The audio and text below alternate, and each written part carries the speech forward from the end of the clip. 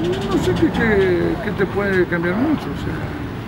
Si hubiese venido un técnico que a lo mejor cambia algo, pero ya, ya estuvo.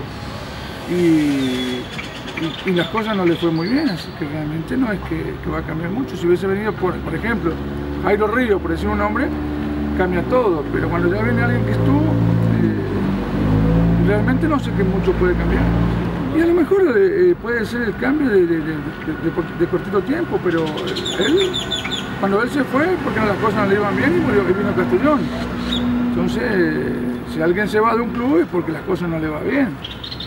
Realmente yo estuve en Victoria dos años, en el Hispano dos años, en Platense dos años, acá llevo tres años y medio, así que cuando vos te vas porque la cosa no te va bien, no es porque te quiera ir.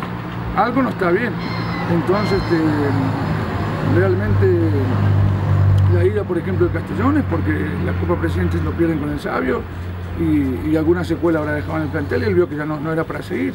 Entonces, este, realmente lo que hay que, hay que ver es cuando viene un técnico que, es nuevo, que nadie sabe cómo trabaja. Eso puede ser un revulsivo, pero un técnico que ya estuvo, no sé qué tanto puede cambiar.